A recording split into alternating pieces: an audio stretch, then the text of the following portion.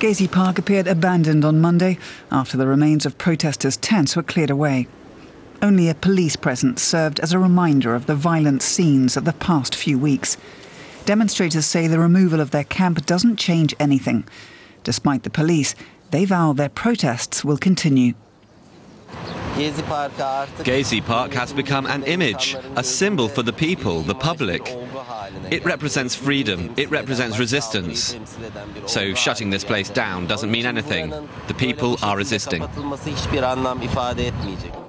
The government is maintaining a hard line against demonstrators. On Sunday, Prime Minister Recep Tayyip Erdogan again called the protesters terrorists. On Monday, his deputy said the army would be called in if necessary. But hundreds have continued to take to the streets, here in Istanbul and elsewhere. Hundreds of union members started the week by walking off the job in solidarity with the protesters of Gezi Park. The government warned anyone taking part in rallies would face the consequences.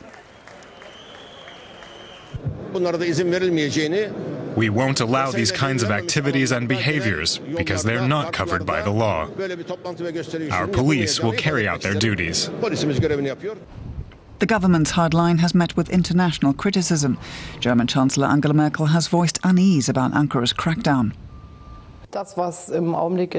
My view is that what's happening in Turkey right now doesn't fit our ideas about freedom of protest, about freedom of expression.